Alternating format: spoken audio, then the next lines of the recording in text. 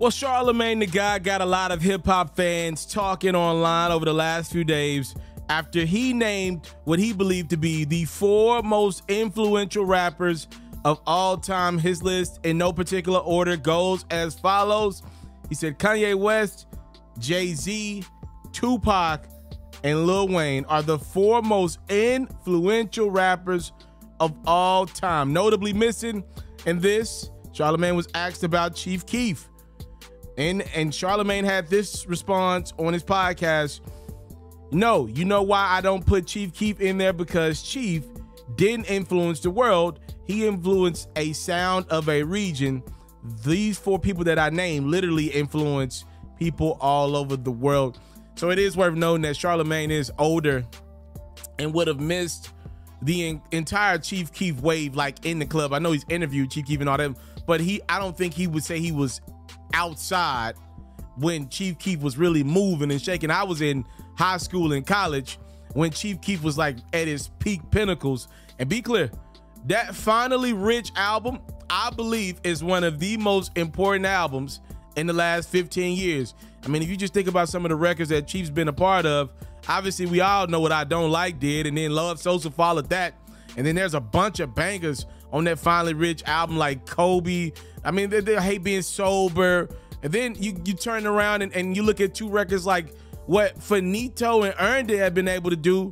Chief Keef has had an influential, like a big one, impact on culture in America with the, these records. Right? He, he has he's changed the style of drill music from the Chicago perspective. They have been as prevalent you know, a sound as about any other city not named Atlanta over the last decade and some change, and Memphis maybe. But yes, they've been right there with drill music, and that sound was spearheaded. That style to to be yourself, the way Chief Keef was being himself, that was spearheaded by him. But I don't think Charlamagne's wrong with his conclusion. As influential as Chief Keef was in the last decade and some change, it does not compare to the four people that was named previously by Charlamagne. Tupac Shakur, the late great, literally was a soundtrack of people's lives. Continues to be that 25 years later on some of those records from, from Pac. He continues to inspire people to want to be him, to want to rap like him, to want to live like him. And he ain't even been around in a very long time. You got to note that.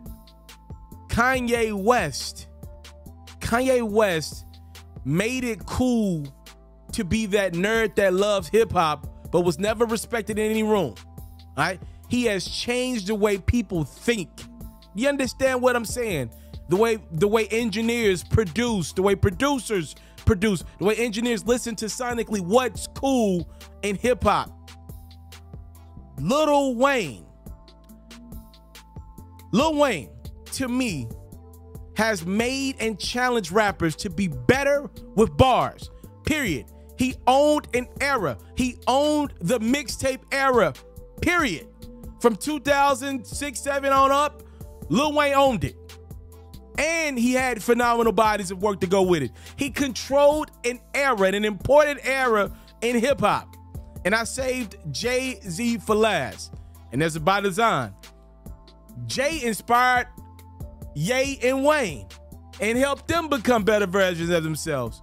And I'm sure if the great Pac were alive, Jay would have had some type of inspiration on him as well. Jay has done wonders for the business of hip hop. Jay has done wonders for pretty much every artist Jay has helped in some form of fashion, whether they know it or not, by just telling his story, by just still being here today. Some of the things Jay has fought for behind the scenes with hip hop artists to help them with streaming. They. People don't even understand how impactful Jay has been. So yes, Chief Keef has made some phenomenal bodies of work, but he didn't have artists attached to him. Tupac, for whatever, for good or for bad, had Biggie attached to him at the hip because of their rap beef, and they're you know they're challenging themselves to be better lyrically. Obviously, Kanye West has produced a long list of artists and helped them out, including Chief Keef, by the way, hopping on it I don't like. Wayne's got Drake. Drake's probably one of the biggest, if not biggest, artists in the world today. And Jay had Ye. So, as much as I love Chief, I don't think Charlamagne's wrong in his opinion. Now, let's play and have some fun with this. Let's open up a fifth spot for the list. Let's say there are five people that are the most influential in hip hop's history. Do you give that spot to Drake? Do you feel like with putting Wayne on the list, you've already covered your bases over there on that side? Do you give it to a younger talent like a Lil Baby, like an NBA YoungBoy? Who do you believe five to 10 years down the line will vehemently take the fifth spot as hip hop's top five most influential figures of all time? My guess and this is crazy to say because Drake's one of the biggest rappers in the biggest artists in the world, will be NBA YoungBoy will take that fifth spot. And here's why I believe it. This ain't about talent in music, whatever you think about YoungBoy's music. This is about changing music. And Young is doing just that. Whether you know it or not, NBA YoungBoy re- reportedly is closing in on signing a new label deal. For right now, though, he's independently dropping music. He's finished his deal with Atlantic Records. YoungBoy continues to drop music, and his main way of dropping it is YouTube. Right now, the streaming rights for YouTube, because it's a free platform, are significantly like let's just put it like this. Artists make a lot less money on YouTube when people listen to their music versus if you go grab your phone and listen to uh, your favorite artist's music on Spotify, Apple, Tidal. These are paid platforms. You have to have a subscription to be on those platforms. With YouTube, you don't have to have a subscription. Oftentimes, you don't even have to have an account to enjoy some of your favorite artists' music. You make a lot more money on the streaming platforms versus a free platform in YouTube.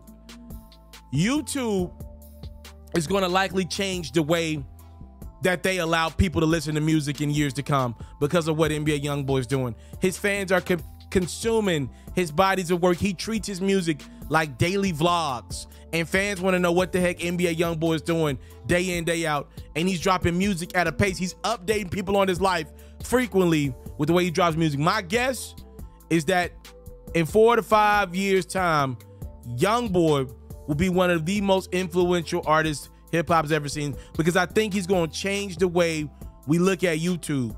I think he's going to change it. I think he's going to make YouTube up there, Annie, create subscription based services, more of them. I know they got one, but even more, take it to the next level to make so artists can make more money on their music. I think he's got a chance to change the entire streaming era. So I would say an artist like YoungBoy will be that fifth spot. And I don't want to leave out a guy like Soulja Boy, who I believe has very been very influential as well, and just everything. All right. So y'all let me know who that fifth spot will go to if Jay, Ye, and Wayne and Tupac, according to Charlamagne, are the four most influential. Do you agree, disagree? Talk to your boy. Comment section, Facebook, share it out. I'm out.